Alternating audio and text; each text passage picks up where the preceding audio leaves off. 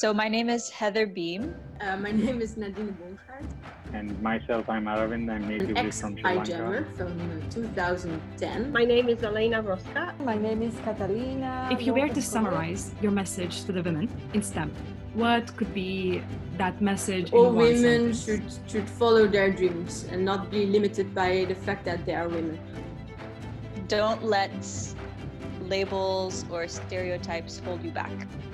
I wish everyone can be more confident in yourself and uh, brave the bright future. Be a role model. Be a role model for and, and pay it forward. So seek out good. Uh, I really think that the, the choice of your environment where you can be valued for who you are is extremely If there's important. something that's a passion of yours or an interest of yours, to pursue it and beginning. not to. I think we have to dream big and take risks and believe in yourself. Those are my three key things. And I think if you really internalize those three things, in my view, that will take you a very, very long way. Future is female, but future is now, you know.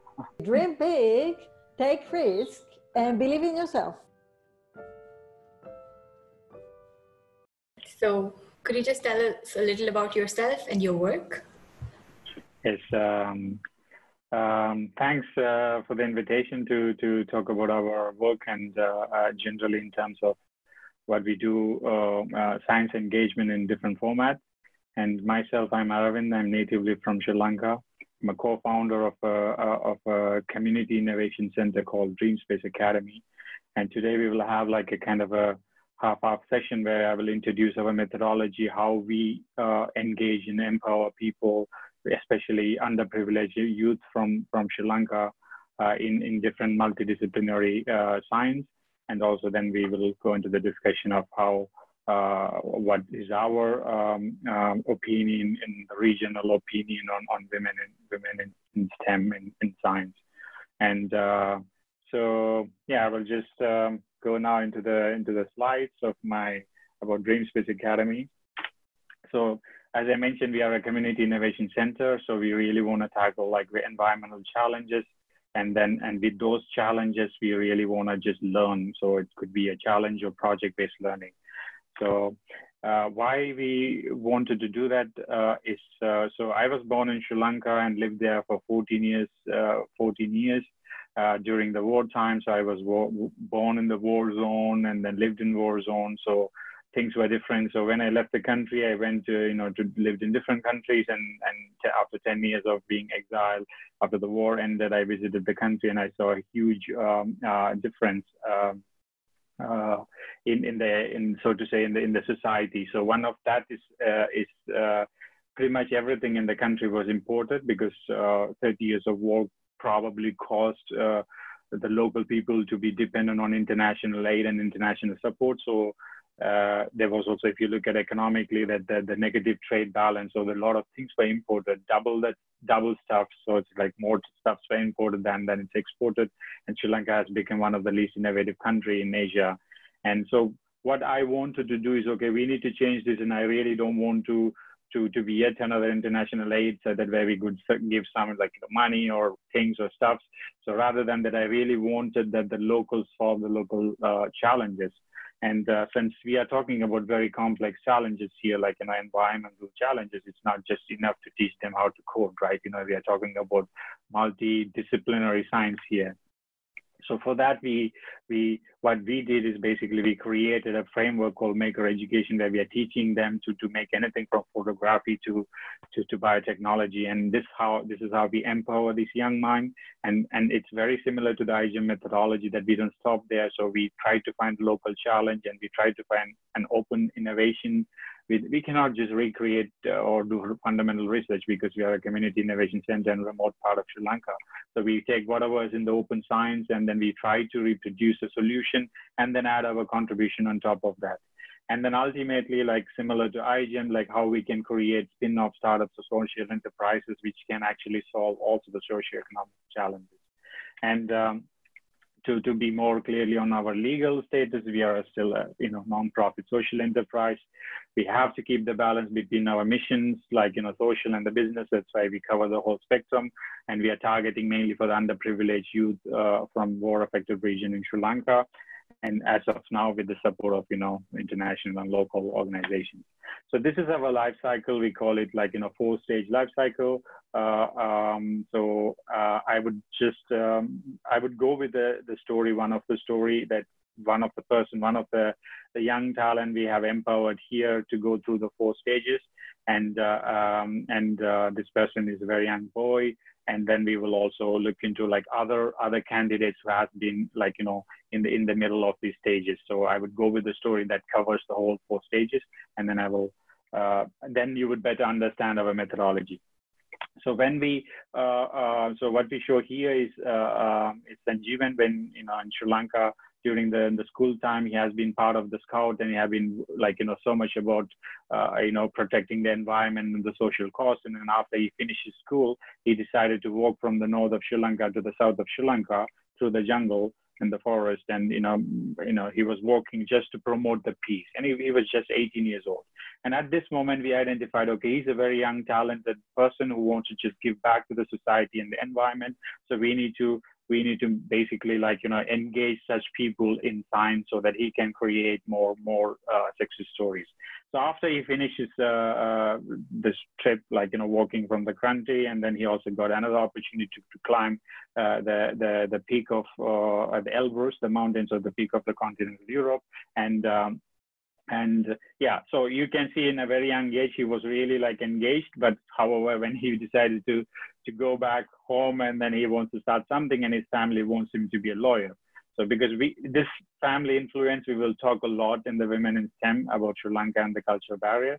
And it's not only for girls it's also for the boys. And then they said okay you need to be a lawyer. But he doesn't need he doesn't want to be a lawyer. So he wants to engage in, in the society and then solve environmental challenges so what we did basically, we brought him in, and then in the first stage, what we call the maker education stage, where he has been identified, he has been trained with multidisciplinary workshops. So starting from you know all we have multi, like in electronics, mechanics, and you know life science, and then business modeling and everything. We have different workshops, and then uh, what we identified that he really wants to work in a in an environment uh, uh, that is, you know, to protect the water and the water resource. Because Sri Lanka is an island uh, with a seven times bigger exclusive economic zone. That means that the blue economy is very important for us as, as an island than, than the green economy. So we should be really thinking about like how to protect it, which is not happening in the in the country. So we decided, okay, so this is our, like what you see in the map is basically where we are based on the east coast of Sri Lanka and we are surrounded by huge water mass and we need something that can actually provide these, you know, profile these water mass. We cannot use some simple sensors here and there, or we cannot just measure the algae bloom or like, you know, nitrate and phosphate agriculture runoffs, which are like affecting the biodiversity of the water. So we need to, to have some device which can actually profile for long distance and, uh, and then that's what we have identified one open source project, which is an underwater glider. One, why it's from a boy from the US uh, and won the Hackaday Prize for this. And then so we, we spoke to the contributor, we took the project and we built up a platform on top of that. So now Sanjeevan, uh, who entered this, this program, and then now he's in the second stage, the community innovation stage, where he's been like, you know, given an opportunity, a little bit of, you know, income and then material and lab to develop his own ideas. And basically he's fulfilling his wishes, but we are giving everything what he needs for that as a salary.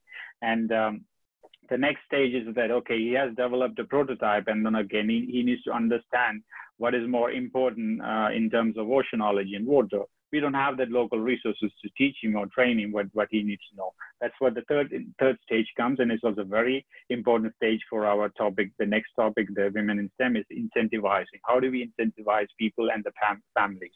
So, uh, uh, so being in a community center, like a lot of parents, they don't want their kids to go there and they spend their life. They want like you know, like maybe fashionable, glamorous life somewhere else in the Middle East or some other foreign country, than like you know, really trying to solve a real world problem. So we need to give such opportunity for our young talents to go out and, and or some some international people go there to Sri Lanka to train on the domain that they are they are focused on. So that's how we uh, we applied. We requested this center. This is a is a it's PLOCAN. This is one of the, the biggest deep ocean research facility in the middle of Atlantic Ocean in Gran Canaria, and uh, and then he got selected to be to be there, and he's the only Asian who got selected to go there uh, to to train on the oceanology and to learn about all different types of underwater glider and and all deep ocean uh, so the ocean exploration. So what you see is that the the, the industry underwater glider, this yellow thing, which costs two hundred thousand euro which would never be possible for any country in the global south to, to do that. And our solution would cost 2,000 euros, which is 100 times cheaper than, than, than the industry product. And so that we can enable a lot of people and give accessibility for a lot of people in science in different parts of the world with this platform. It's completely open source. You can just take it and reproduce it and upgrade it and repair it however you want. So the last stage uh, uh, uh, is the is is very very very similar to iGEM is that you know how we can now spin off spin, spin this off and create a socio-economic development for the people who are involved and also create like an industry around it. And he has been he has been going around and pitching this idea to international organization, and then he got already several uh, fundings and and uh, um, and uh, green flag to start his startup. However, we have some issues because of this, uh, you know, the lockdown and the Spain is closing the border. Probably he was supposed to go in October. We are not still sure how the, the government is going to react probably, but this is, is, this is how our life cycle works. So it takes like 18 months for us to identify someone and to bring them to these stages. And it's a one-to-one process that's very time consuming. And, and it's a lot of people on one side and maybe one to many. So the, the one talent and we have to put a lot of effort to train and, and bring them out and uh, and it's all happened within before even even before they go to university or usually they don't have access to to go to university and so on so so another story that I would love to talk here is is, is Abhinaya, and um, uh, um, she's in the in the second stage of our life cycle methodology. So uh, we identified her in, only in, in in February and before the lockdown started, and then we went to a so this is a huge difference, uh, probably in iGEM or in other other make other organization because you are like like an organization or a center. You're open and people come and then then you give them. This doesn't work in most of the place. We have to do the field work and we have to go to those villages and identify those talents, and then only we can you know because otherwise they are stuck there. No one knows about you know what they can do. And then we were approached by her chemistry teacher, and then there is this 16 years old young girl. She she got really good uh, you know talent in wet labs and then the chemistry part and, and biology, life science, and then so we said okay let's meet her and then we visited her and then we identified that she really wants to solve bigger problems being in, in remote extreme village like a forest village and one of her that her main project is that she wants to remove you know cadmium pollution from the water using this uh, you know uh, it's called Java plum, which is a common fruit in the in Southeast Asia, uh, maybe like Sri Lanka, India, Myanmar, and then some places. And then she has been using this uh, seeds of these uh, um, uh, um, basically seeds of this uh, uh, plum or this fruit, uh, and she's kind of creating a bio biofilter for that to to to basically filter out the cadmium um, ion particle in the wastewater, which comes through like you know different pipes or something like that, and different industrial waste. And then we identified that, and we brought her in. I mean, still she's in her uh, GCSE or, oil, so like you know her 10th grade in other other words. So we still use the the British system, and um, um, and then we proposed, we trained her, we gave her like a little bit of a training on how to write, you know, scientific journal, you know, how to, how to, how you have to present this and so on with the help of our science teacher, chemistry teacher. And then we presented her project to, to, to Stockholm uh, Institute of uh, International Water Institute. And she got selected now as, as the Stockholm Junior Water Prize, which is a is a prize that is given to like talented uh, youngsters in the water domain, and it happens in the town hall in in, in, in Sweden, where like usually people get the Nobel Prize, and she's the one among twelve uh, candidates chosen for that from 40 countries, and uh, and then hope this year is again she cannot personally go, but we, it's going to happen like online and probably when things are okay and she's going to go. So this is how she enters into our system. Maybe she's a little bit jumped into the third stage already. before like had much work, but like she will also go through the four stages of Dreamspace life cycle.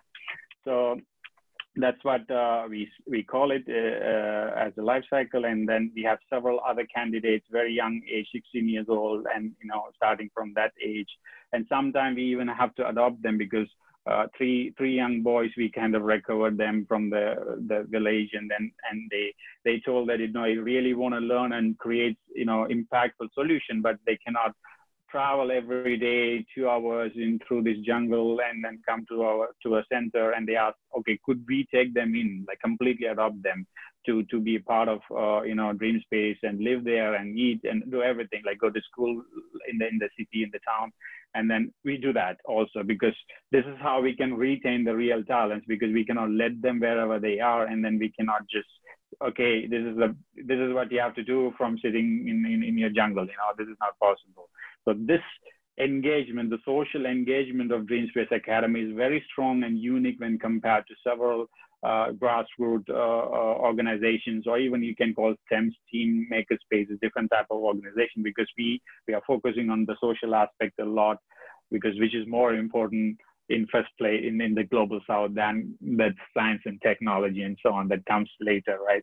So as i said we have several labs where like you know different uh, age groups from six years old to 45 we have participants and then we have been training them on different things electronics mechanics and business and and an art lab and uh, and bio lab. We have a story lab new lab and we have been building our textile lab and our material lab. And uh, as I mentioned, there are several other community innovations. There are several other people in that life cycle in different stages. And um, and our our focus is environment sustainability and take like open innovation and then like do a little bit of r&d and then try to find ways to locally manufacture as i said a lot of international collaboration happens. Like a lot of scientists from europe go there stay there for four to five weeks and train on the topic that we requested for them. For example if we need a biochemist we usually request okay we need that and then they go there and do that. It's not the it's not the normal way that like people from here are sent to to teach something that is not probably needed you know and uh, uh, we have been partnering with several international organizations because our methodology is very unique. And we have been even convincing like international aid organization like UN Volunteer, like Center for Peace Building and Re- Reconciliation, that this is open science for peace building you know? So we, have we in this way we can actually gather some peace building fund to do like open science. And so there's some policy work happening and then we have different social enterprises creating different programs and um, yeah so ever every every entrepreneurship is based on like you know thinking about the society and and then try to find mini industries and mini factories in the local region so that you can also give jobs and skills to other people who are not part of, of of, of Dreamspace. So we kindly we have like like different locations, and then if you see one is in the in the jungle, and one is in the, the town, and one is at the beach. And uh, since the topic is also very much um, today about women, you can see that very it's very diverse. Uh, you can see like you know there's a it's a pretty good uh, you know ratio here if you look at the team here and then we do lot lot and lot and lot art you know we don't want to leave art behind because this is an expression for us that how a group of people sitting in somewhere can take a real world problem and you know in their own hand not waiting for an international organization or a corporate or government to solve and then we could solve that ourselves. So yeah.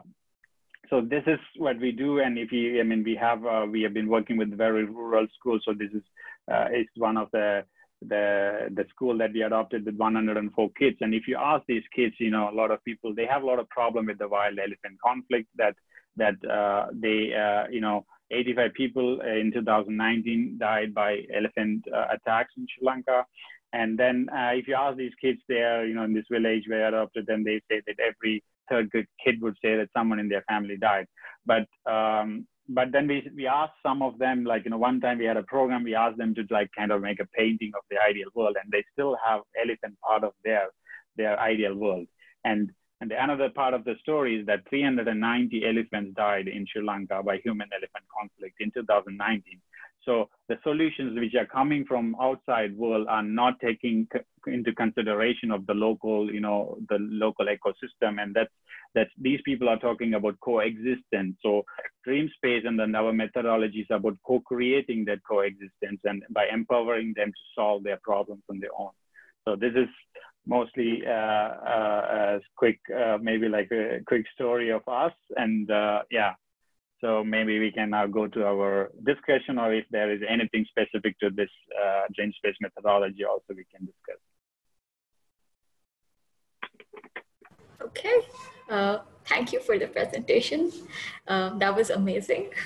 So I, I really like the fact that you guys have maintained a pretty equal gender ratio. So uh, that is pretty enlightening, enlightening to know. So our first question of the discussion would be, um, what is the what is the mindset in Sri Lanka about women pers- women pursuing education, women pursuing science, uh, and in general women going forward and solving local problems uh, finding innovations to solve local problems? Yeah so um, yeah this is uh, we are going in deep uh, into the discussion. Of course what you see is a lot of um, um uh, different diverse uh, situation here. Um, yeah so um, when we when I wanted to talk about this women in generally in like gen- generally about like you know our uh, this topic, so I really wanted to discuss this with my team. So we have Sajani, who is a is a diversity and inclusion expert and, and working on peace building and reconciliation, and then Nilavan, and, and and she's working from the north region, and then another one, another can another my colleague Nilavan is working on the northeast, and then Kishore is on the east. So we I really want to get the whole uh, idea of, of, of Sri Lankan Tamil. I'm not, I'm touching only the Sri Lankan Tamil part. I'm not touching the other part of Sri Lanka. Uh, um, so then, then I kind of uh, uh, discussed this topic, and so the whatever the opinion what we have is very specific to our community there, and then then it's also like based on like uh, uh, with my colleagues what we decided, and I verified if that is that is how you think, and then what then they gave. So uh, I have like I mean I didn't prepare a presentation specific for this number, but the, one of the the things that we always did with in Sri Lanka, we compare always to India. So what happens in India and what's happening in Sri Lanka because of very close uh, relationship in in different ways, you know, cultural and so on. And generally, uh, in Sri Lanka, there is a very good, uh, uh, you know, balance in, in diversity, uh, in the gender balance in, in, in pretty much everything. And even if you say that it's, it's far better in many places than in India, if you look at the Sri Lankan statistic and if you look at the Sri Lankan uh, Tamil statistic, Sri Lankan statistic and Sri Lankan Tamil community, if you look at it. Uh, um, so if you look at the population ratio itself, it's 51, almost like 52% female and it's 48% male uh, in the country. And then uh, um, uh, so attitude towards the women education is that uh, that uh, I'm also like I also lived in different countries, so I can also like you know compare like how it is in Europe, like in Germany and in India and then Sri Lanka. So generally about uh, women in education is not at all a problem in Sri Lanka. Like if you if if you really look at the gender statistics, you can see that like you know there's 40% male in science and 59% in women, you know in Sri Lanka and you can really see like the whole the whole education itself like 54% women and then 45% uh, you know you know male. So that itself is a very strong that you know the the bigger the top scorers of of, of uh, in sri lanka are always girls you know like we always say that these girls are like you know they they you know you, you cannot compete with them. This is how i i grew up there and then this is how i know. And and uh, that's my uh, in general like you know we have also other statistics like uh, like if you look at uh, the people uh, if you look at uh, girls who have graduated who have entered universities like 71 percent you know than like you know boys who have been to universities and graduating. And if you look at look at this is a yeah population ratio and if you look at uh, uh, teachers, you know, even if you look at the teachers ratio, like there's 71% female and 28% male, and then in the in, in the whole Sri Lanka level, and um, uh, yeah, I mean, in, if you look at like you know in in the schools, boys and girls in the school, it's like pretty much the same. You know, if you see, and uh, um, yeah, and also if you look at the literacy rate of the country, that is like you know really about 95, and then you know it's also pretty close uh, as to both both ratios. So uh, in in that way, I we we really don't see a problem that you know women uh, uh, you know going for higher education or basic education or you know because maybe probably because of the system that we have. Uh, um, it's it's it's it's a very very strong when compared to the nearest uh, Southeast Asian countries I would definitely say. Yeah and um, uh, however there are like cultural barriers because Sri Lankan Tamils also have very very close relationship culturally to to to all other Asian South Asian uh, um, um, um, uh, Southeast Asian uh, or Indian subcontinent countries. So I asked Sajani, like, why do you think that, you know, like girls here, like, you know, they're like really like, you know, going pushing and serious. And she said that maybe this is uh, in Sri Lanka and in, in those subcontinent countries, we know that like, you know, we have to get married soon. So we need to achieve before that happens, like, you know, as much as possible. So that's why they're super serious about it than boys who are like lost in their, you know, they're in their bubble and so on. But there's a huge difference that I have to tell you that which Sajani also mentioned. It's very, very different from Indian society.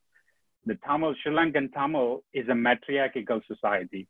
So, so even if you could see the cultural wise in, in India, if you look at uh, girls get married and they go to the boys' house, but in Sri Lanka it's opposite. In Sri Lankan Tamil, girls always stay with their family. The boys come to come home. Boys come to the girls' house. And then she told me, Sajani was mentioning, you know, it's very, very significantly, you can see that women, they are like really achieving a lot till they're 25, 26 years old and they're getting married and then they have the family. And then they have a very, very strong comeback after they are 40 because now the kids are like kind of grown up and they are with their mother, you know, not with their mother-in-law, and they, the mother, mother and the family of mother is kind of taking care of because of the matriarchal system, taking care of their kids, and they're really coming back. Really strong leaders have come out, and then then there's a huge, huge uh, influence you can see. So these are the these are the things that uh, they, they uh, she uh, Sajani and then we discussed, and um, yeah. So I think like uh, we have to be proud of about it.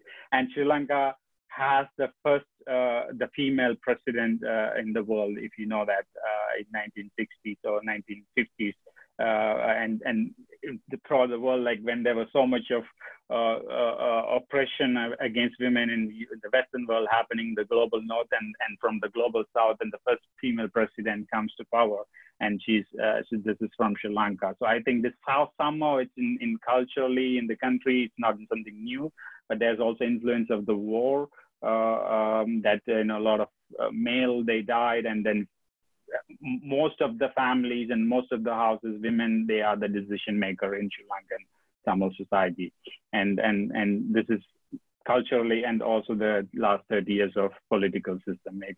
Yeah. I hope that answers your question in a big way.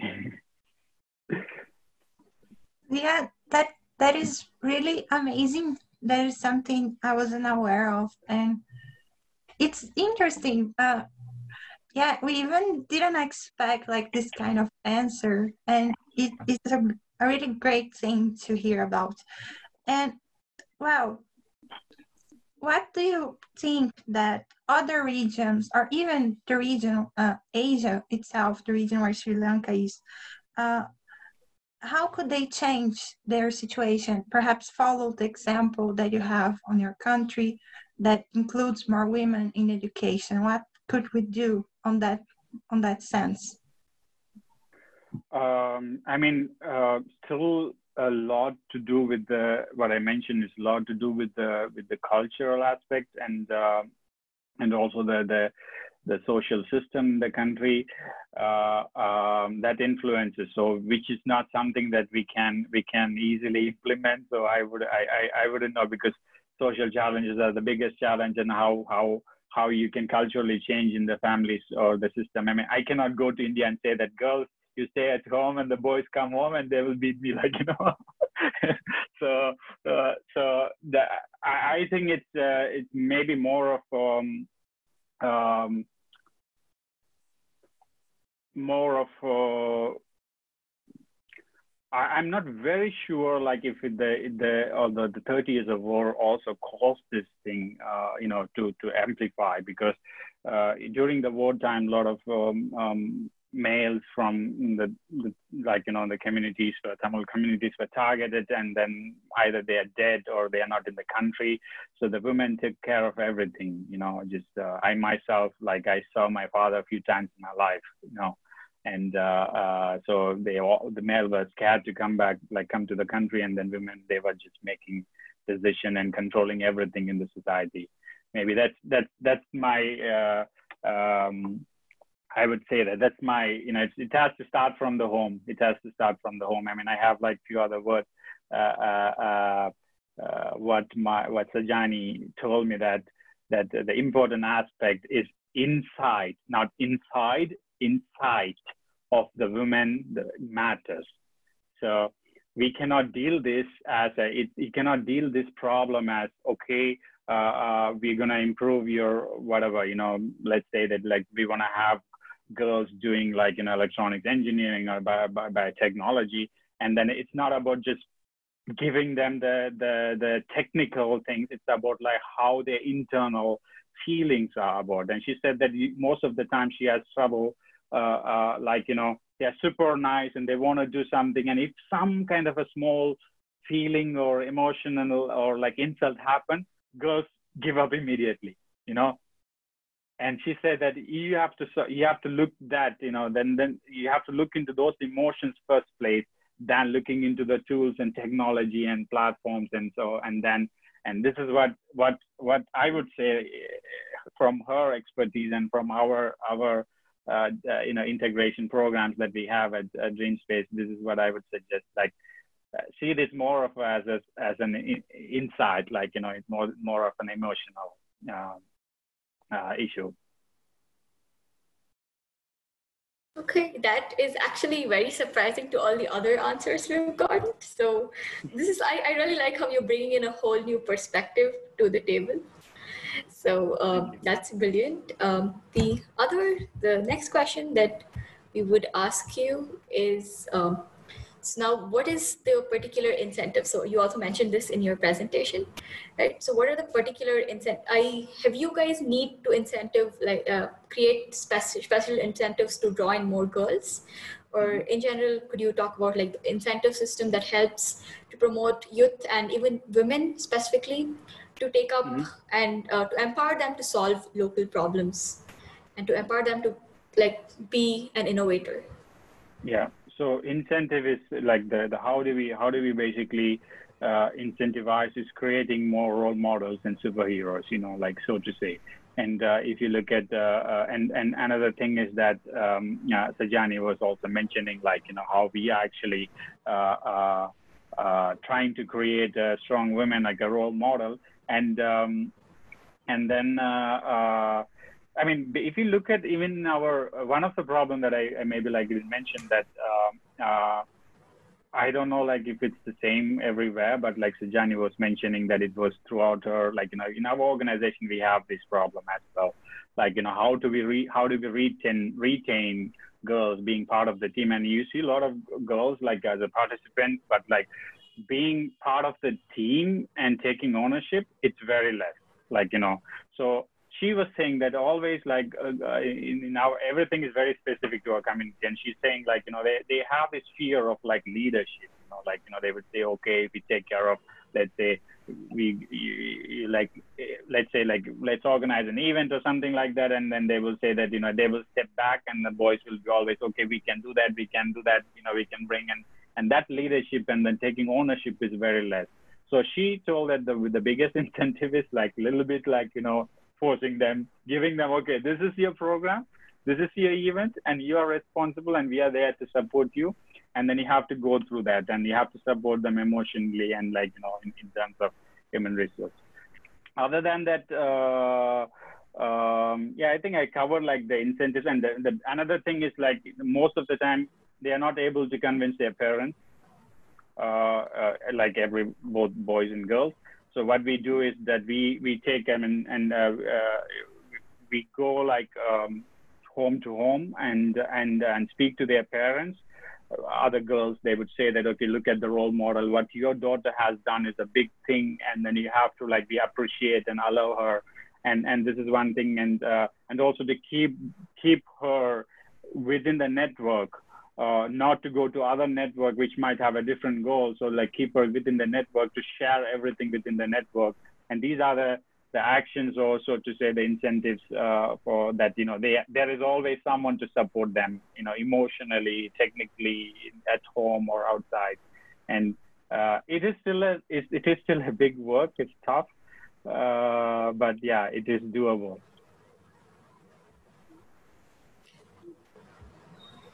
That Yeah. that is that is great. Um, well, on on that thought, uh, what would you say is your aspiration for education, especially for women?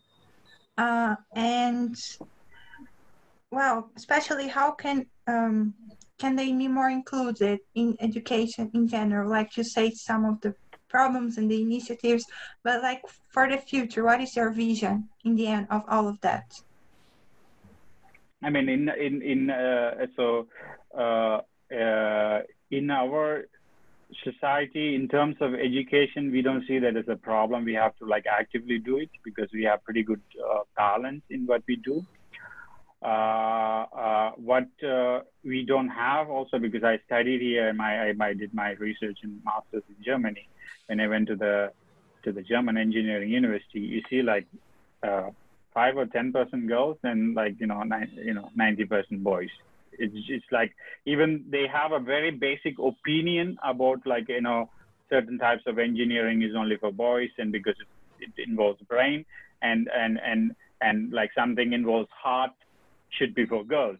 And in our society we don't have that. You know, if, if I studied I studied my bachelor's in India. We had more girls in computer science than boys because all these girls studied biology and they didn't get into like you know medicine. And they said oh computer science is so simple we could just go and like that. Of course they don't go for like you know mechanical engineering or civil engineering because they see computer science as a very soft thing.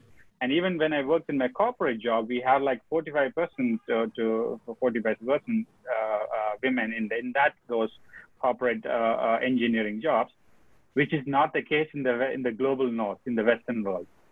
So Western world need more empowerment in terms of bringing uh, uh, uh, women, uh, girls into into engineering than than in you know in what I see in, in the in the South subcontinent. Because I have a friend of mine, he has been um, he left his job and from Berlin he moved to like you know Bangalore to start a, a program, electronics engineering program for for for, for girls in Bangalore. And he called me and told that Bangalore is fine. He has to come back to Berlin to teach people to involve more girls. So I think, you know, and uh, I think it's, um, it's, um, uh, it's, uh, so I, I, in my opinion, we don't have to do much, but what I would love is that, you know, uh, uh, uh, these empowering people, these young people, girls or boys, what I would suggest, we actually have to empower the parents. That is the most important thing. If you empower the parents, if the parents are giving all that freedom uh, uh, to to to to girls to to be like you know fail, you know, if the boys they would say get lost, you go do whatever, do you fail and no matter.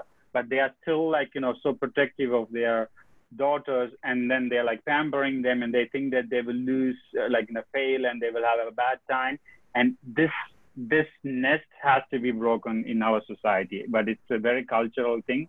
I don't know how we can do it, but uh, we see that it's changing in very uh, em- empowered or emancipated parents or like very professional parents. They are like, you know, allowing, um, uh, we have a lot of uh, young girls, you know, in very, very young, like six, seven years, 12 years, and their parents are like, you know, just sending them.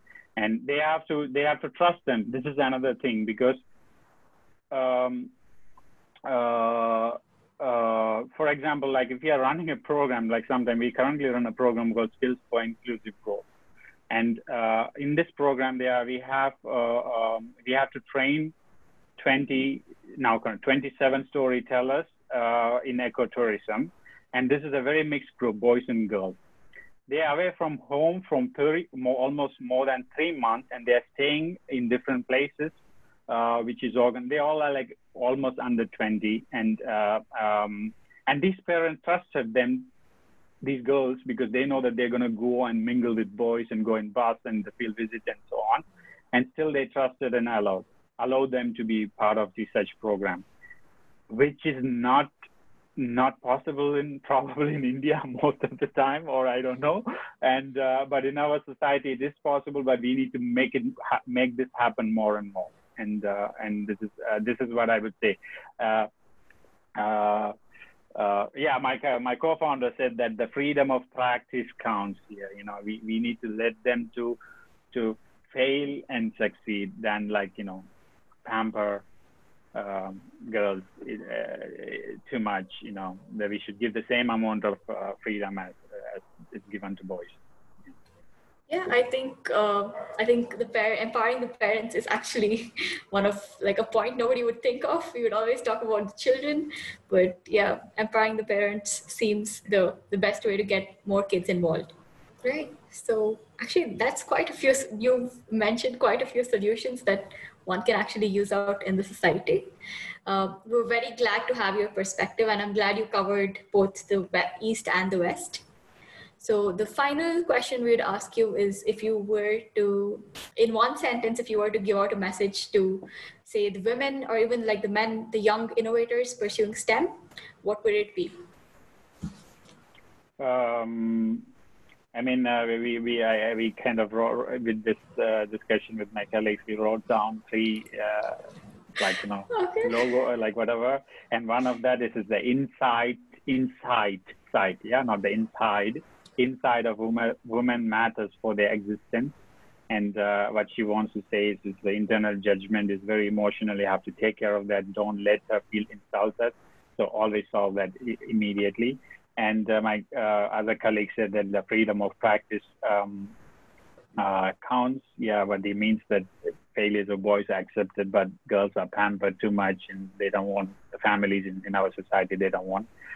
Uh, my, I would be like in a little bit, uh, you know, punk. I don't know what the the future of future is female, but future is now. You know.